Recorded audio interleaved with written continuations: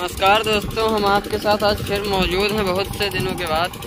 तो आपको आज दिखाते हैं कि हमारे वहाँ बाराबंकी में जो धान की रोपाई है, वो अब की बार थोड़ी लेट रही है और इस समय रोपाई चल रही है। तो आपको दिखाते हैं।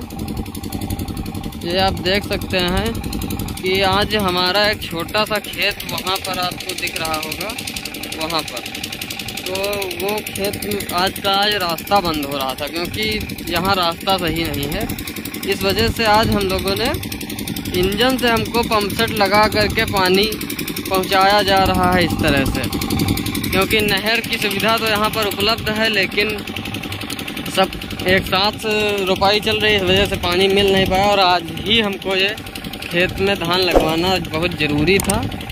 इसलिए ये काम किया जा रहा है। चलिए आपको दिखाते हैं खेत कहाँ पर है। अभी आपको दिखा रहे हैं हम।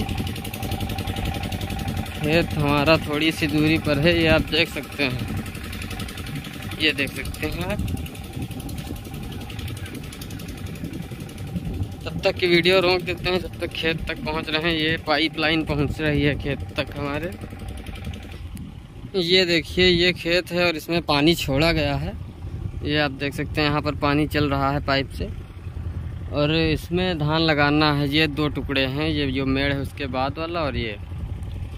तो इसमें पानी भरा जा रहा है अभी अभी ट्रैक्टर आएगा और उससे इसकी जुताई की जाएगी कल्टीवेटर से, क्योंकि ये सूखे में जोता जा चुका है, इसलिए रोटोवेटर से जुताई की आवश्यकता नहीं है। इसमें कल्टीवेटर से जुताई की जाएगी, फिर पाटा लगाया जाएगा और उसके बाद लगेगा धान। और धान की रुपाई यहाँ पर फ्री हैंड होती है। जो ठेकेदार होते हैं, वो लगाते हैं और कुछ दूसरे तरह से लगवा लेते हैं। कुछ लोग दिहाड़ी देकर।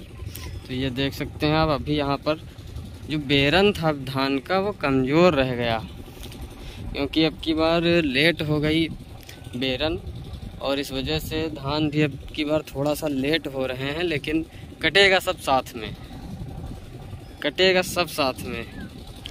ये आप देख सकते हैं, इधर ये पूरा सेक्टर लग चुका है धान। अब ये बीच में हमारा खेत बचा हुआ था, इसलिए आज ही इसको लगाना ज़रूरी था। नहीं तो ये इस खेत में अगर धान लग गया तो इसका रास्ता ख़त्म हो जाएगा इस वजह से।